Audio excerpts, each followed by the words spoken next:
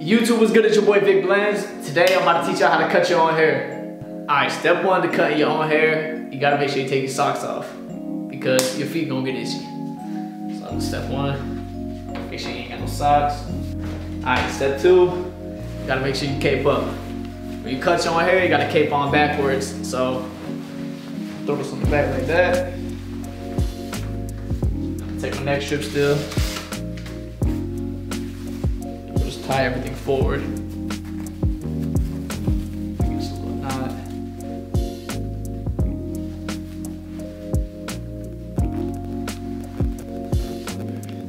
And now you're ready to go. All right, so the haircut I'm about to give myself is gonna be a number two on top with the high skin fade. So of course, I'm gonna start with the number two guard. I'm gonna start lever all the way open. I'm gonna see how I look. I might go down all the way closed, but lever all the way open is gonna cut less hair than all the way closed. So if you want a long number two, that's lever all the way open. You want that closed number two, lever all the way closed. So I'm gonna start open. I'm gonna go ahead and knock the hair down, and then we'll jump into the fade. All right, so I do got a three-way mirror, and it makes it a lot easier for me to cut my own hair. But if you don't have a three-way mirror, don't worry about it. You can still just use one extra mirror. All you would do is stand in your first mirror, your big mirror, and you would cut your hair down. And then when you need to get to the back, you would take your handheld mirror, kind of prop up against it, and then you would use that to go side by side, and then take your hand and fade it back your head. All right, so we're gonna go long number two, lever all the way open, and we're gonna go ahead and knock down all the bulk on top.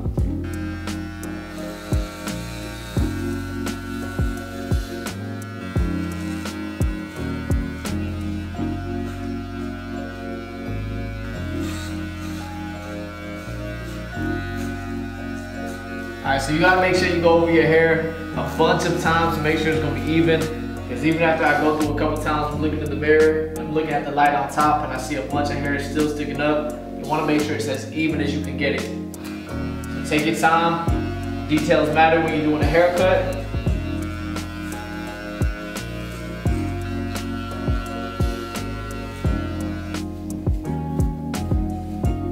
All right, so once you go ahead and knock down all the bulk in the top of your head, you're gonna go ahead and set your guideline in for your fade now. I'm gonna use this trimmer right here. This trimmer doesn't cut that close to the skin, so I like to use it to remove all that bulk on my head to set that first guideline in. So I'm gonna do a high fade. A high fade means I'm not gonna have none of this C cup right here. I don't like to have my, my sideburns to a point. I don't like having them at all, so I like for my fade to be all the way faded out. So, I'll start from the front. I'll make the first guideline right there at that box. I'm gonna follow that through all the way across. So then I'm gonna adjust my mirror a little bit so I can see it on the other side. I'm gonna go through all the way to the back. This guideline's gonna be pretty straight all the way across. So I'm gonna go about halfway to the back. And then I'm gonna start from the front again. Make sure these points are even.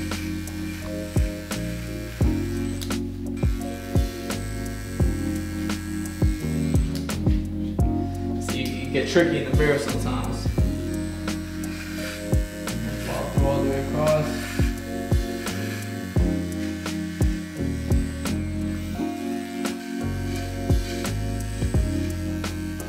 So once you got your guideline put in all the way across your head, now I'm gonna go ahead and remove all this extra hair on the bottom.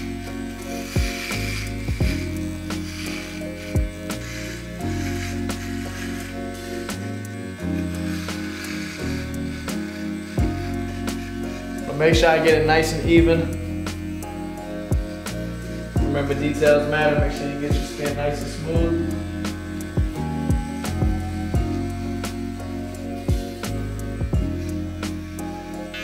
Alright, so the trimmer I'm using now just cuts a little bit closer than the one I had before. So I'm gonna smooth it out a little bit closer to my skin.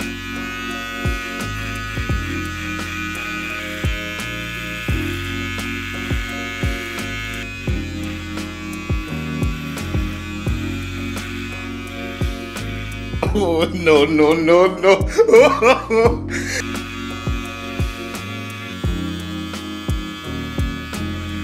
Alright, so the next step to my skin fade is gonna be my lever all the way open and I got no guard on there right now. So I'm gonna go up about an inch right there to give myself a guideline and that'll be the first step.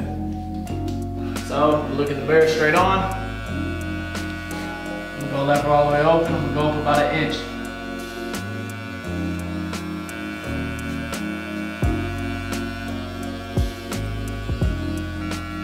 So I'm just going side by side, make sure I take my time.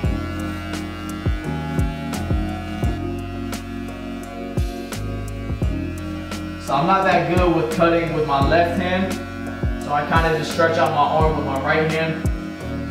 To me, it just makes it a lot more easier like that. I know some people that cut their own hair, they switch between left hand and right hand. I can't do that. It, it feels way more comfortable for me just to stretch over. I don't want to get too confused. Sometimes it can be super, super confusing and you can get lost in the sauce, paying too much attention to the mirror. So I don't want to make it harder by trying to go with my less dominant hand. I'm just going over my guideline, making sure it's nice and even. And when I get to the back of my head, I like to stretch it out a little bit more. Now I'm gonna remove the bottom line. So I'm gonna go ahead and close the clipper up all the way. And I'm gonna start by edging up on that line. And then we're gonna slowly open the lever. And as we open the lever, it's gonna cut less hair. And that'll create the fade as we're going up from the bottom of this line to the top of it right there. So start it all the way closed. Tap in the bottom like that. Open up a little bit. Keep working my way up.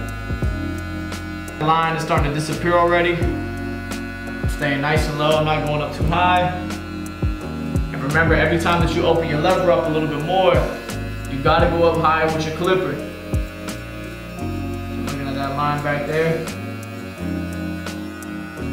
Slowly fading it out.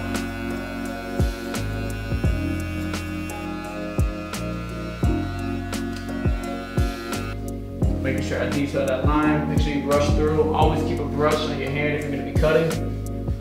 You wanna brush through, make sure you can see everything you gotta work with.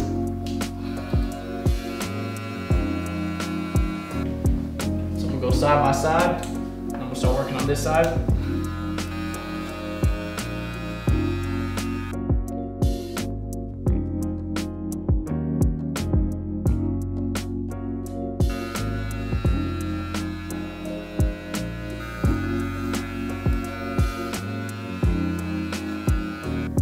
So the next guard we're gonna use is the number one guard, and now I'm gonna use the number one guard all the way closed, and I'm gonna start edging my way up on this bottom line right here, and I'm gonna slowly open it up, start to raise the number one up till about right here on my head, and then from that area right there, we'll blend to the top. So now I'm gonna use that number one, and you can see this one, and now you can see that it cuts less hair, so it's starting to create that fade for me start working my way up, slowly open that lever. Take brush through. Brush through, make sure I'm not missing any spots.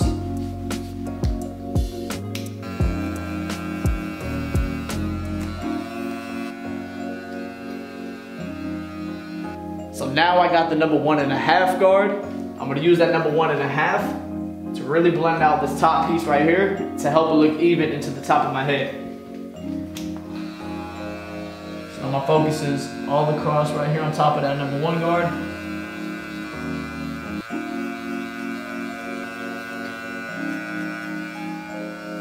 Now I'm gonna use the 0.5 guard, which is the small half guard, and I'm gonna use that guard to help me blend out this last bottom line that I got. So I'm gonna start all the way closed with that half guard. I'm start tapping the bottom.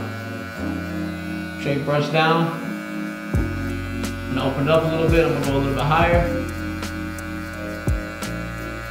And as you go more open with the lever, you start raising the clipper up a little bit more, you're slowly gonna start to see that line start to disappear. Don't rush it, just take your time, watch for the details.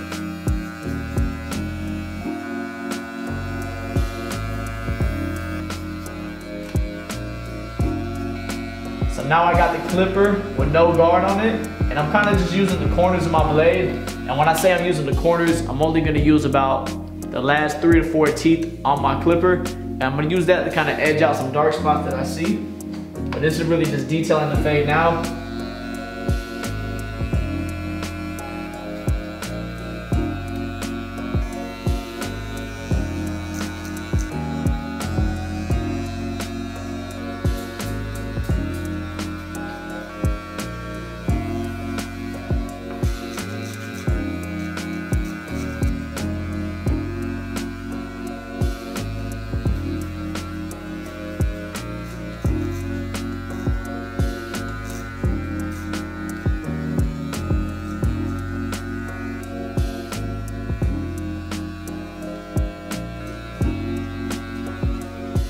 Right, now we're gonna move on to my lineup. I'm gonna tell you guys this because I don't have the same lineup as a lot of y'all out there, so your hair is gonna be totally different. But the best thing I can tell you if you're gonna line your own hair up is that less is more. Don't try to do too much when you line yourself up. Remember, it's a self cut, you ain't getting cut by another barber, so of course it's not gonna be picture perfect. But I promise you, I messed myself up plenty of times trying to do too much to my hairline by myself. I'd rather give myself a medium, pretty straight, okay hairline than to try to go super into it, get it too detailed, and then now I'm pushing my corners back and I'm pushing my line all messed up. But just don't do too much if you're gonna line yourself up. Give it a little tap and go. Keep it clean, keep it simple.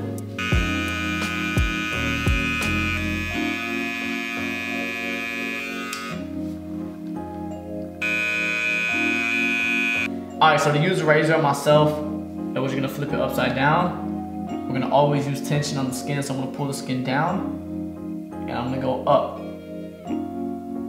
So I'm working at opposites. I never pull the skin up and then try to go up into it. Always pull down, because you need that tension.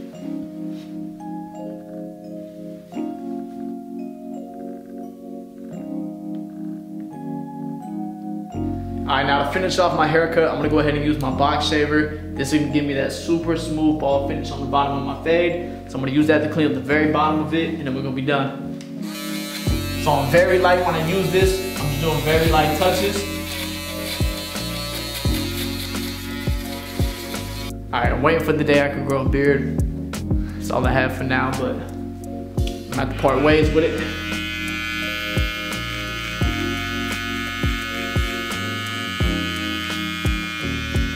Shout out to all the beardless kings out there. Stay strong. Our day is coming.